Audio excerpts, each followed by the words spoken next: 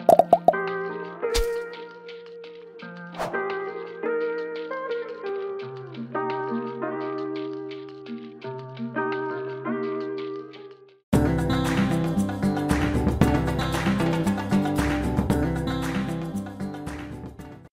again, welcome.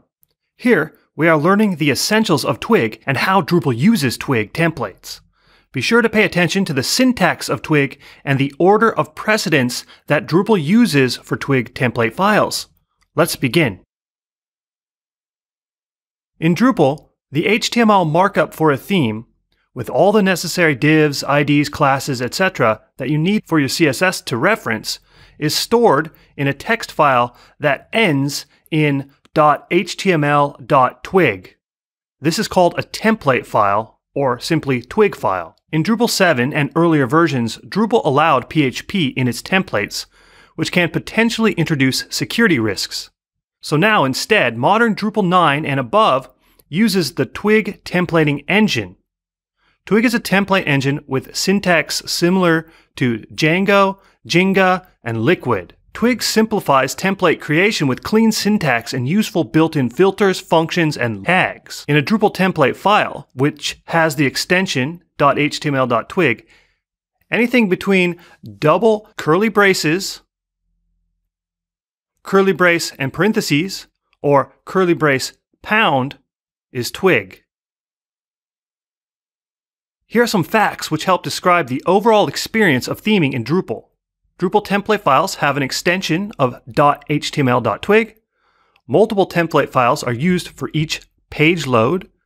Drupal reads nested templates from the most specific to the most general. And any templates presented in the theme layer will have the final say. Drupal templates are broken down into files addressing specific areas of Drupal. This means if you want to change a very specific part of the theme's HTML, you don't have to wade through lines and lines of HTML and Twig markup just to find the right spot. If we want to customize any of these templates, we need to override them with Twig files located in our custom themes templates directory. Here is a list of the core Drupal templates that are most commonly rendering the content on your Drupal site. If you are using a Drupal module that you have downloaded and installed on your site, it is possible that it also includes its own Twig template files that you can also theme. Drupal renders templates in a specific way.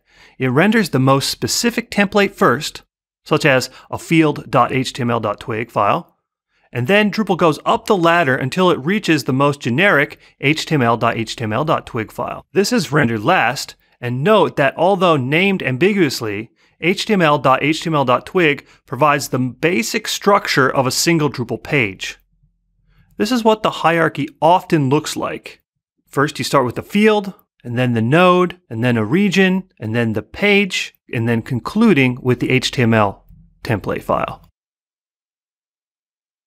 So, in summary, remember that Twig is the templating engine Drupal leverages to reduce security risks. Drupal template files end in the .html.twig extension. Remember, Drupal renders templates in the precedence of most specific to the most broad. For example, field templates, then the node template, then the region, then page, page concluding with the template called HTML. Great job completing another video. I'll see you in the next one. Happy learning.